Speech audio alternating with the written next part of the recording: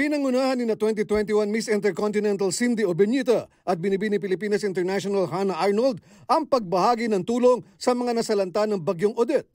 Kalahating milyong piso ang ibigay nila sa Philippine Red Cross sa ngalan ng Binibining Pilipinas Charities. It's so sad that this has happened while we are facing a global health crisis. Umapela rin si Miss World Philippines Tracy Perez na tulungang maiahon ng iba pang komunidad tulad ng mga kababayan niya sa Cordova at Argao, Cebu.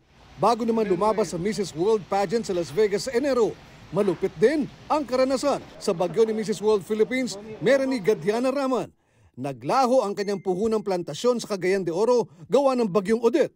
My trees, it's called falcata trees. So lahat na down talaga siya. But I, because I don't want to, you know, to complain or share, especially the problems. Because I know already how hard the people who suffer from it. You know, as much as I can, I want to help. Layo ni Raman na ibahagi sa international community ang kwento ng mga nasalanta at kumalap ng karagdagang tulong. Nauna na rin nakisimpatya si 2021 Miss Universe Harnas Sandhu ng India habang nanawagan naman ng tulong si Miss Universe Philippines Bea Gomez para sa mga kababayan niya sa Cebu.